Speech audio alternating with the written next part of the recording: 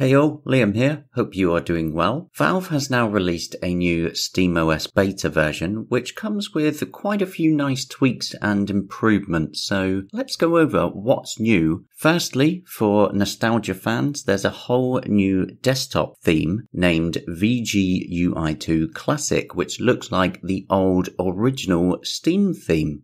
And honestly, I absolutely love it. It is now my Steam Deck desktop theme and it is staying. Another bit of good news is that Firefox is now installed as a Flatpak, solving the previous security issues where I warned you away from using it.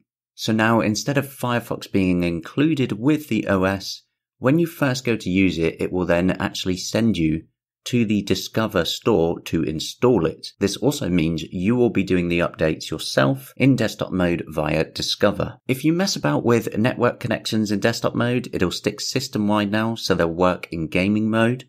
They've also enabled initial iBus IME input support on the desktop so that you get support for Chinese, Japanese, and Korean keyboards.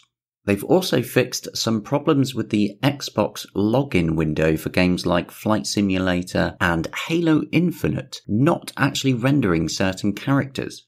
A really curious one though is that they mentioned updates to controller firmware utilities to support future controller hardware revisions. Now this actually sounds quite exciting, perhaps even a Steam controller too, but it's most likely to account for just general hardware revisions to the Steam Deck manufacturing process.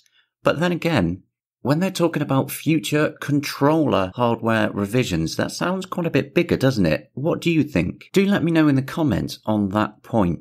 Additionally, Valve also released a Steam Deck client beta update with these changes. The first is quite a good one. They've added a favorite and popular guide section to the Steam overlay for really easy access.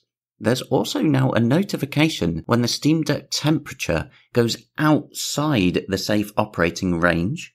The achievement progress notifications like you've got 5 out of 100 will no longer play sounds. The virtual keyboard was resized in desktop mode to the appropriate dimensions, and there's a couple of other miscellaneous fixes.